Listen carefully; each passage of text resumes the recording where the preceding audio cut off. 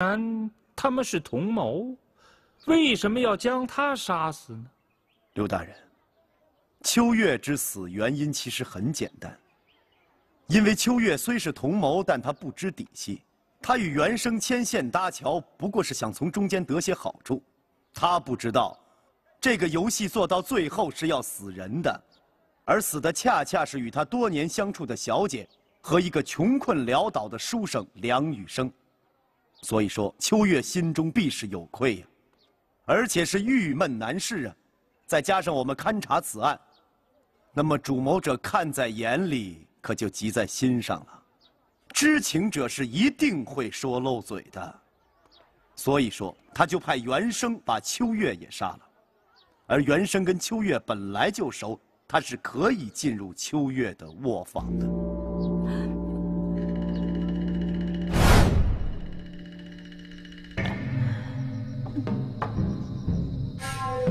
怎么了？生气了？我来陪陪你。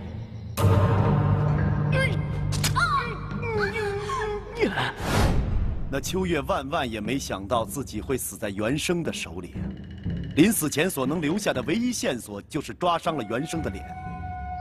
两位也看到了，原生脸上确实是留有抓痕。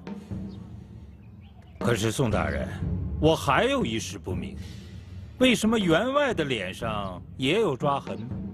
员外，这事儿得让你自己说呀。我啊，呃，宋大人，我也糊涂了。那天半夜我睡得正香呢，这夫人呢突然的惊叫起来就醒了，她是又打又抓呀，把我的脸给抓破了。我问她这是怎么回事啊？呃，她说，她说是刚才做了个梦。梦见正和人家吵嘴打架呢，你，你是不是骗我呢你？哦，原来娄夫人抓伤娄员外的脸是有目的的，意在造成错误的判断，把员外当成杀害秋月的凶手了。哎呀，我还差一点信了。什么？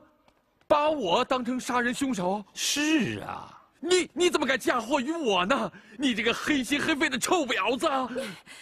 是我，是我干的，全是我干的。我恨你娄家的人，还有你那个可恶的女儿。你你你你你你简直是疯了！他简直是疯了！我花五百两银子啊，从妓院把他赎出来，让他到娄家来过好日子。啊，你穿的是绫罗绸缎，吃的是大米白面呢，难道这还不够吗？你你竟敢他恨我，不够怎么了？你把我赎出来，不就是为了给你生儿子吗？你嘴上不说，心里就是这么想的。还有你那个女儿更可恶了，我来你们家八年了，从来没给我好脸色看，还当着丫鬟们的面骂我是个臭婊子，连我生的儿子，他都爱理不理的。你你你这话说的太过分了吧？你难道宝儿不是我的心肝宝贝儿吗？啊，那宝儿是我们楼家的独子，他将来是要继承我们楼家的财产的。你是宝儿的母亲，母以子贵，哎，这些财产还不都是你和宝儿的吗？对，难道这这这还不够吗？我幸亏有个宝儿，可你呢？你有什么呀？啊？给您的宝贝女儿定了一门亲，对方是有财有势啊。可你还答应他，把一家绸布店和数百亩良田送给他当陪嫁。哼，说不准哪天你俩腿一蹬，你那可恶的女儿女婿把我们母子赶出大门呢。呃，宋大人，聂大人，你你你，所以啊。他就必须先下手为强，除掉你儿子宝儿所有的对手，让他稳得你的全部家产。再有，让他这个出身下贱的母亲获得应有的权利和尊严。这这这这，你你你真是疯了！他果真是疯了！你看他怎么能这么想呢？他做出这种害人的事情。哎呦，你说我这楼家前世谁造下孽哟，让我落了个这么个下场啊！好好好，宋大人，那你说这个袁生是被谁杀死的呢？还用说吗，刘大人？当然也是这位幕后指使者呀。他，他与袁生共同设下了骗局，那关系绝对是非常密切，绝非一般。怎么最后他会把袁生给杀死呢？刘大人，原因很简单，那袁生是个浪荡公子，他怎么会相信袁生呢？他连自己的丈夫都不相信，怎么会把自己交给袁生呢？袁生不过是他自己实现目的的一个工具而已。那么工具用完了，自然要处理干净。我说的对吗，娄夫人？哼，宋大人，你果然心明眼亮，说的一点都不差。可惜啊，娄夫人，你虽然曾经身陷污泥，但已经从良多年了。为人妻、为人母，该收心从善。怎么就因一两声讥笑、三五言冷语，暗生仇火，设下如此毒计？你就没有想过，你害了别人，反而就会害自己？你的宝儿怎么办？六岁小童失去母爱，你现在想想，值吗？宋大人，我。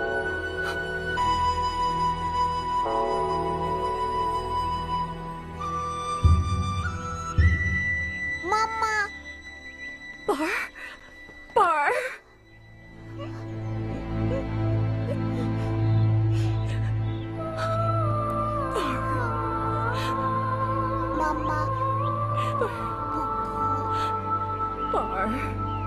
在学堂要听先生的话，在家要听老爷的话。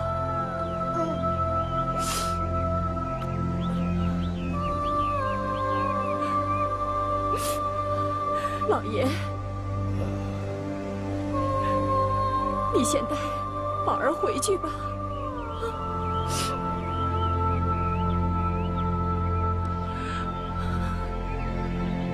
那么先林宝儿回去了。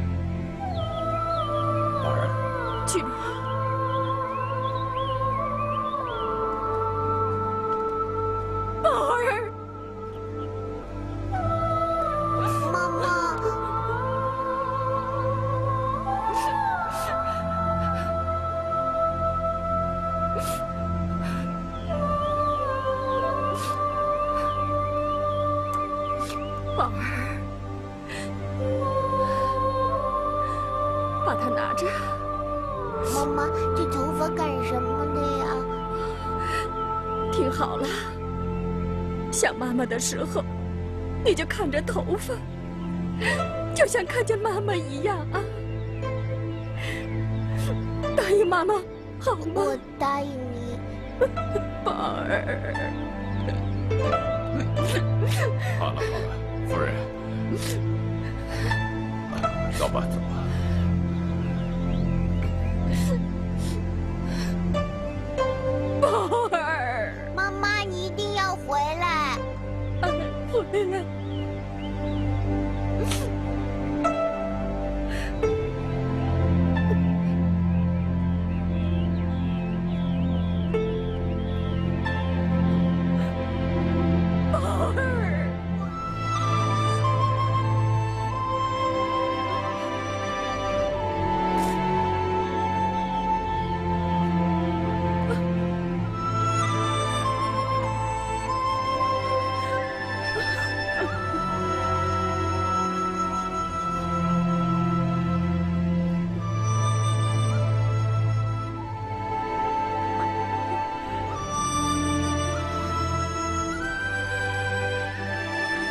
人生，赵秋月的，你拿去当物证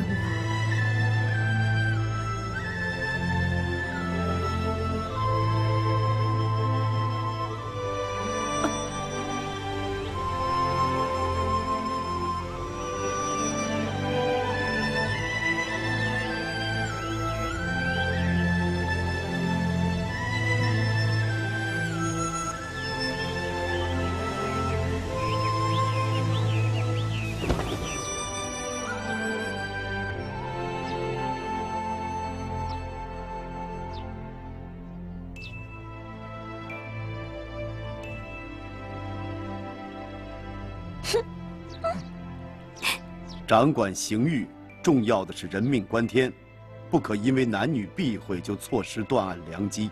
笑什么笑？哦，宁国，嗯，你那一手蝇头小楷最近也是颇有长进啊。这样，你把本官所有经历的案例都给记录下来。我是想有一天啊，你说掌管刑狱的人看了，不也算是一件善事吗？您这一部流芳百世的奇书，我怎么敢染指啊？什么叫流芳百世？当然能啊。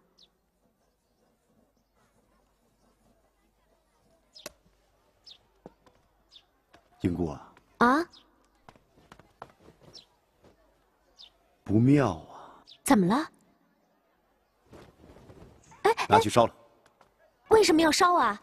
英国，你说这要是掌管刑狱的人看了，或许有所帮助；这要是落到坏人手里，可怎么办呢？您是怕坏人得到它之后，反而会教他们怎么作恶？这不成了一把双刃剑了吗？大人，其实啊，您完全可以不这么想。为什么？不是有句古语“魔高一尺，道高一丈”吗？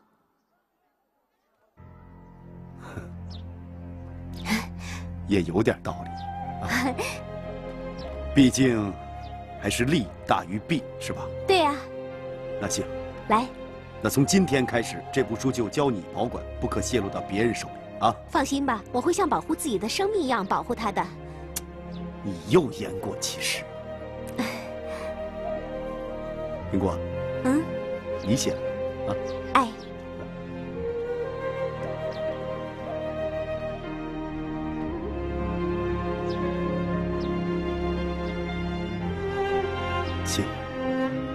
那就暂时不烧。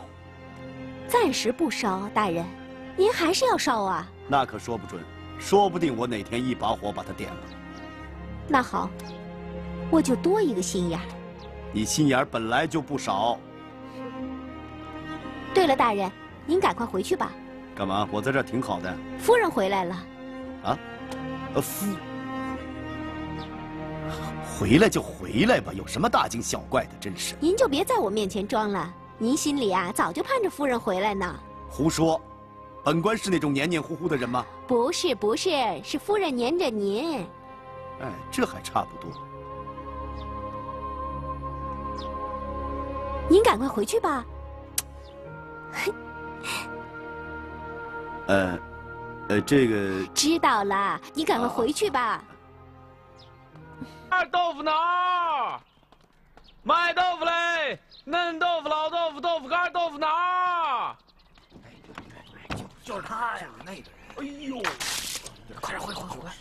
就是那吓死人，就是他，就是这恶人呐！是啊，知面不知心。卖豆腐嘞，豆腐干、豆腐脑。别指使他呀。卖豆腐嘞，豆腐干。哎，你买豆腐吗？买豆腐嘞，卖豆腐喽。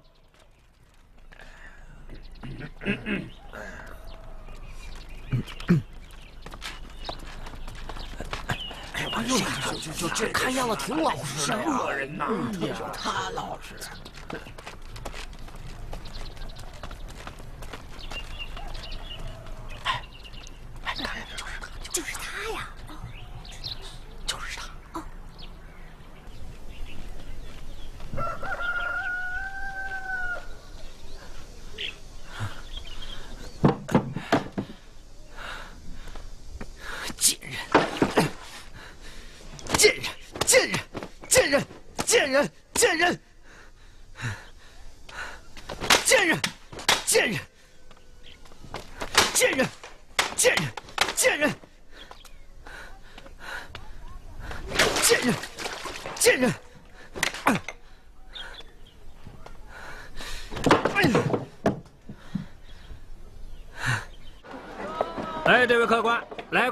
解解渴吧，又脆又甜。来来来，哎，就这块儿。哎，好好好。嘿嘿，我这西瓜又脆又甜。嗯再来一块。好嘞。哎，坐着啊。哎呀，这么大热的天儿，太阳快晒死人了。这位客官，怎么偏拣这个正午时分赶路啊？哦，那早晨或者晚饭以后还凉快点免得受这罪呀。大叔有所不知啊，只因家母病中思念女儿，命我前来接包姐回去看看。我是不敢延误母命啊。看得出来，客官是个忠厚老实的人，果然是位孝子。哎，令姐也住在这城里啊？家姐是从太平县嫁到此地，姐夫姓杜，叫杜松啊。谁？哎，就是城里开豆腐坊的那杜松。正是。大叔，你也熟悉我姐夫？呃，那这么说，你就是那杜松的七舅爷？正是。晚辈叫李丁。啊，呃，李公子这次来接你姐姐回娘家。怎么，出什么事了？难道你们娘家人一点没听说？听说什么？城里传闻令姐，我姐怎么了？啊啊，什么也不知道，什么也没说。我们也是听人说。你呀，还是问你姐夫去吧。啊！哎，客官，这，这这。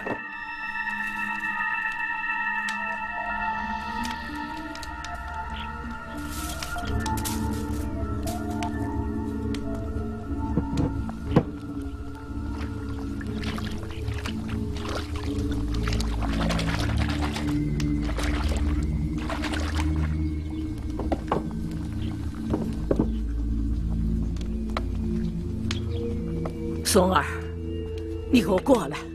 娘，您怎么来了？您身子有病，不在房里躺着，到作坊干嘛来了？你给我跪下。娘，不知孩儿做错了什么，让娘气成这样。松儿，我问你，你媳妇儿已经离家三个多月了，到现在还不回来，这究竟是怎么回事？哎，原来是为了这个呀。娘，我不是跟您说了吗？她回娘家去了。她回娘家了，那你就应该把她接回来呀。那贱人，那贱人在家，经常对您白眼相向，恶语相加。孩儿恨不得一纸休书，休了她才解恨。住口！你媳妇再不好，她也是明媒正娶的呀。她已经离家三个月了，你就应该赶快把她接回来。他在家呀，就经常的惹您生气。他要是一回来呀，哼，你又得整天看他的脸色。娘，这事您就甭管了，还是自由主张。您快回房躺着去吧，我这还有活呢。你过来，松儿，我知道，你是为了娘，才跟你媳妇闹不和的。娘已经是风烛残年了，不知道还能活多久。为了娘，让你们夫妻不和，娘就是死了，也闭不上眼呢。娘，既然您这么说了，过几天我把那贱人接回来就是了。何须改日？现在就把她接回来。这事儿啊，容孩儿仔细想想。是你把你媳妇打跑了的，你就应该负荆请罪呀。你现在把她接回来吧，接回来，这还有什么好想的？负荆请罪，明明是那妇人不贤，为何要孩儿负荆请罪？那我问你，你是不是不愿意去？若是要让孩儿负荆请罪，孩儿宁愿去死。那你是不愿意去呀？还是不敢去，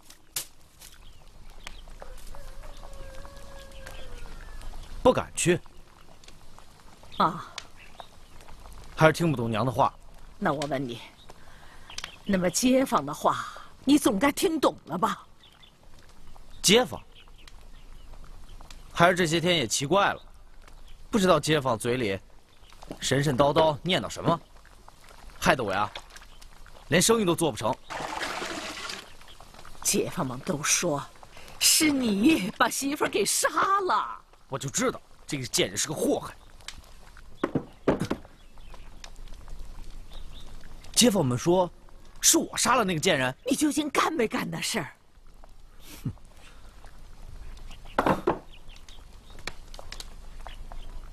为人不做亏心事，半夜不怕鬼敲门，街坊们爱怎么说怎么说。对那贱人，我还真是眼不见为净。姓杜的，我姐怎么得罪你了？你已经如此恨她？原来是我们家舅爷呀！那我不知道我哪得罪你了？啊！一进门就怒气冲天的。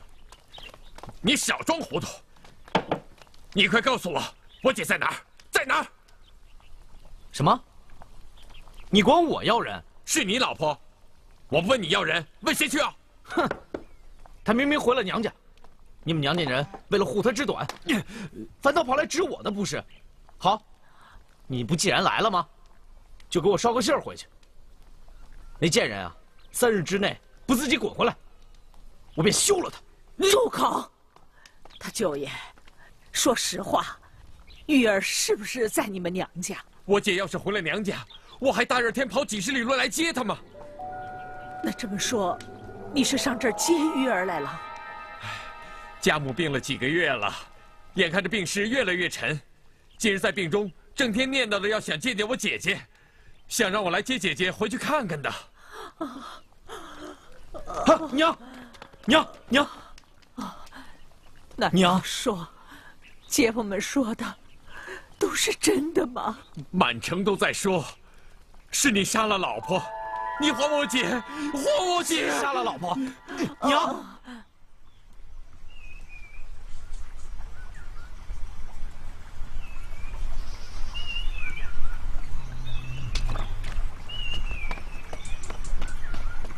别动，那只是条小鱼。由它去吧，太爷，我以为您睡着了呢。您真是垂钓中的神手啊！连闭着眼睛都能看出这河里是大鱼还是小鱼。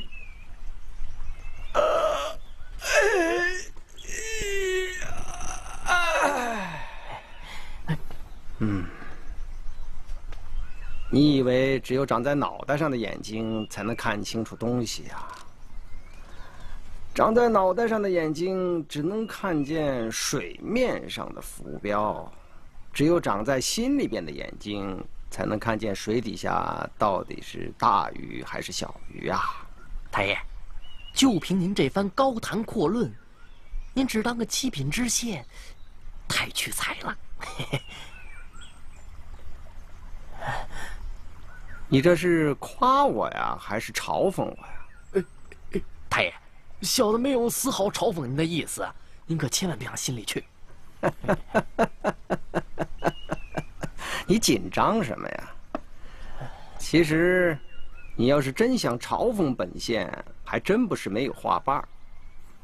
想当初，我刁某平步青云，官居五品知府。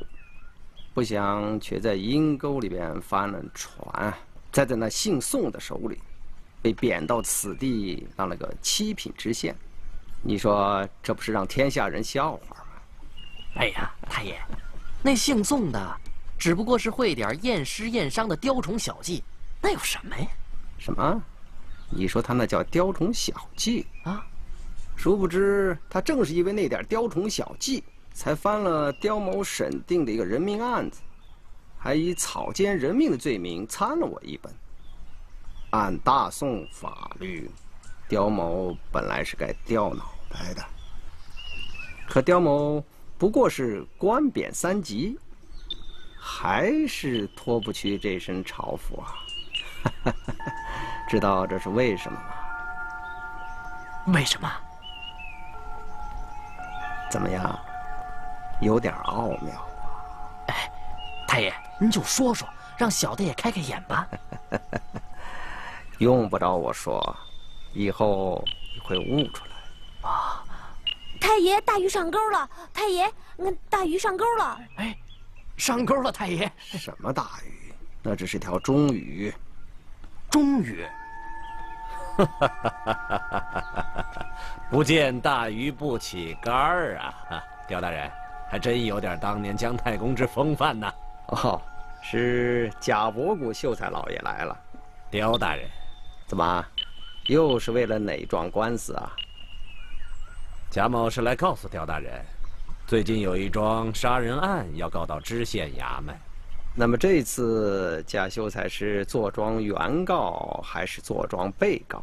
这次贾某无心亲手弄送，啊，只不过这个案子里的原告是贾某的世交。嗯，这么说你还是坐庄原告？这个案子有些难处啊。有何难处啊？这原告诉告的是。被告谋杀人命，可是缺少证据啊！没有证据，你这打什么官司啊？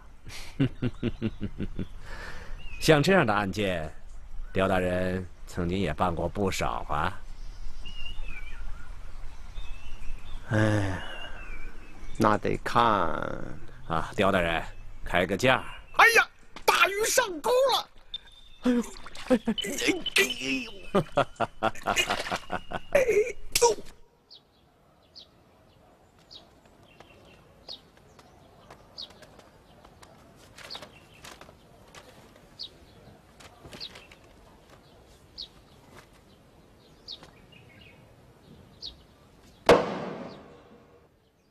传被告杜松上堂。传杜松，走进去。小民杜松，叩见知县大人。杜松，有个叫李丁的，你可认得？呃，那是小民的舅爷，可他现在是本案的原告。正是你的七舅爷把你告上了衙门，知道这是为什么吗？嗯，这才叫恶人先告状呢。你在那嘀咕什么呢？哦，太爷，不知小民的舅爷为何把小民告上衙门啊？这正是本县要问你的，你怎么反倒问起本县来了？他一定是冤枉小民，谋害了他的姐姐。哦，你倒是承认有这么回事啊？呃，不不不不，没这回事，根本没这回事啊！既然是没有的事，你紧张干什么？这这呃，这事儿还望老爷呃给给呃。给小民做主啊！其实，那李丁虽然写诉状告你杀害妻子，却也没有拿出什么像样的证据来。本县立案，向来重证据实，仅凭一张没有证据的诉状，本县怎么可能就相信了原告而判你有罪呢？大 大人。你可真是青天大老爷呀！啊，好好好好好，先别忙着歌功颂德，你听好了。虽然原告告你杀害妻子，但他却没有什么证据，所以只要你能拿出证据来证明你没有杀害妻子，本县可以当庭开示于你。小民谢过青天大老爷。那就把证据拿出来吧。啊？嗯，什么证据啊？哦，看来你是没有听明白本县的话。好，我再说一遍。本县李案向来重证据实，单凭原告的一纸诉状，本县是绝不会判你有罪的。听懂了吗？啊啊！但是，本县也不能仅凭你嘴上一说，就确信你一定是被别人诬告了。所以，你要想证明自己没有杀害妻子，那就把妻子带来，让本县见上一面，那不就谣言不攻自破，此案不可以当场了结了吗？可，可是我。我现在确实不知那贱人到底在哪儿啊！什么？你居然交不出人来？嗯嗯，哎呀，这可就让本县为难喽。那贱人三个月前就已经回了娘家。哦，照你说来，你七舅爷是先藏起了他的姐姐，然后再来状告你这姐夫谋杀妻子，对吗？这，我，我也说不清楚。可必须说清楚。你要是说不清楚，本县又凭什么相信你没有杀人？大人，我，小民真的没有杀人，小民可以对天发誓啊！这是朝廷公堂，不是菩萨庙堂，什么发誓不发誓的，那都是自己心里有数的事，在我这里没用。好了，好了，好了，好了，好了，咱们从头来，从头来。本县问你，你老婆三个月前去了什么地方？我，我想。她是回娘家了，你想？你想她是回了娘家？那就是说，你并不能肯定她就一定是回了娘家，对吗？那有什么人可以证明她真的就是回了娘家呢？可是，除了娘家，我料她没有别的地方可以去啊！证据，证据，证据，证据！本县苦口婆心，你怎么听不明白？本县不能轻信原告的一纸诉状，可也不能光听你的凭空猜想。你说你老婆三个月前回了娘家，那就得有人，或者是有证据证明她确实是回了娘家。你现在明白了吗？可，可她要是不回娘家，她又会去哪儿啊？对。这才是本案的关键。你妻子没有回到娘家，那她现在身在何处啊？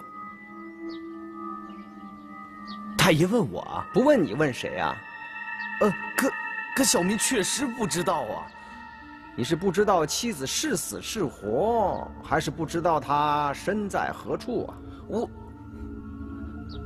反正那贱人。三个月前就已经离家出走了，离家出走。哦，这倒是给了本县一个新的思路。那我问你，你妻子三个月前是因为什么而离家出走啊？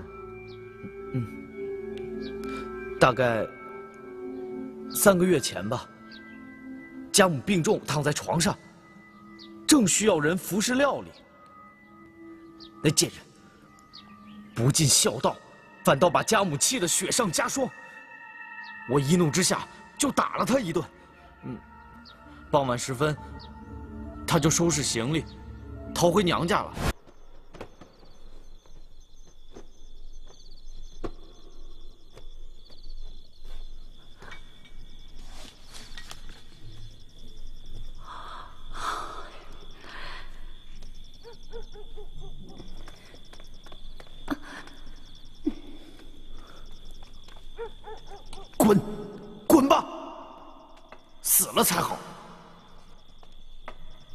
松儿，你快把他给我追回来！娘，追啥呀？松儿，娘知道你为了娘才跟他吵的架，快把他追回来吧！追啥呀？走了干去！你看，天都这么黑了，他要是走了，有个三长两短的，那该如何是好啊？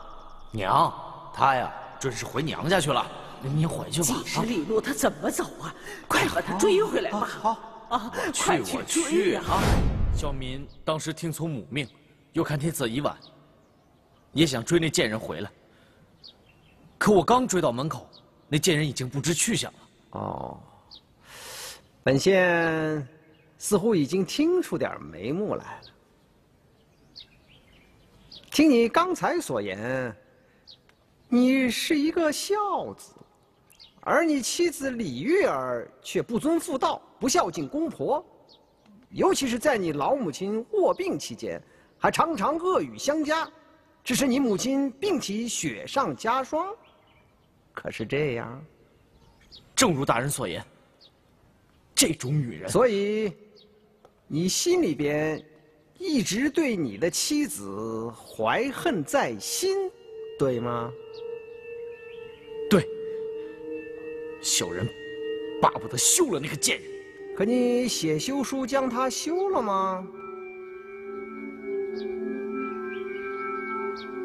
老母不允，所以所以你巴不得一直休书休了你老婆，可你老母却不许你休妻，而你又是一个为母命所从的孝子，怎么办呢？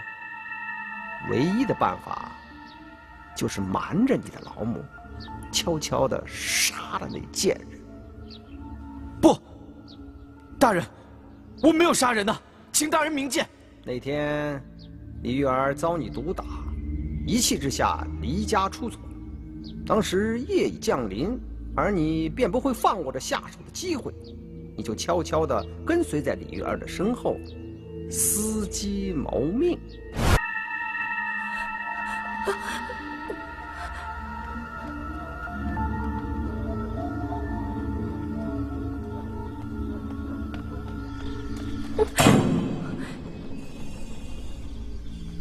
干嘛？干什么？哼，你不是要回娘家吗？我来送你回去。我不用你送。我要是不送，你怎么才能到家呢？那也不用你管。这荒郊野外的，你就不害怕？我告诉你，这世界上唯一让我害怕的人就是你。站住！干什么？我告诉你。那个破豆腐坊，我再也不想回去了。哼，我也不愿意让你再进我们杜家的门。那你跟着我干嘛？你不是回娘家吗？可是你走错方向了。笑话，回娘家的路我当然知道。你该去的地方是那儿。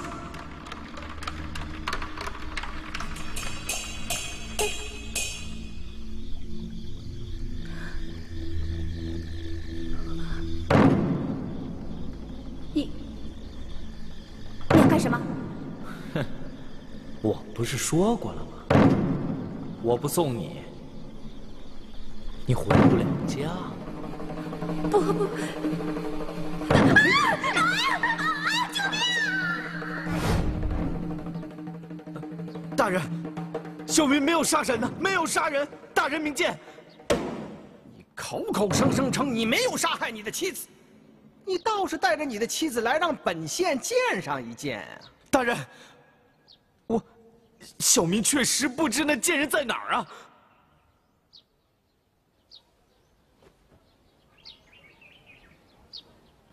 好吧，那你就慢慢的等吧，不管是死是活，李玉儿何时露面，本案何时具结。退堂，大人，大老爷。您不能让我在牢中等啊！我家中还有八十的老母呢。大老爷，刁大人，知县大人，小民家中还有八十的老母呢。大老爷，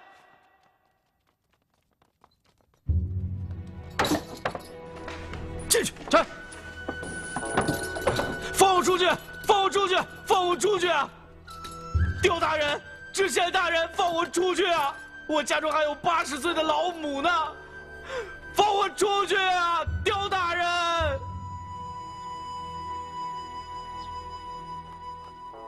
刁大人呐，这被害人娘家的眷属，他……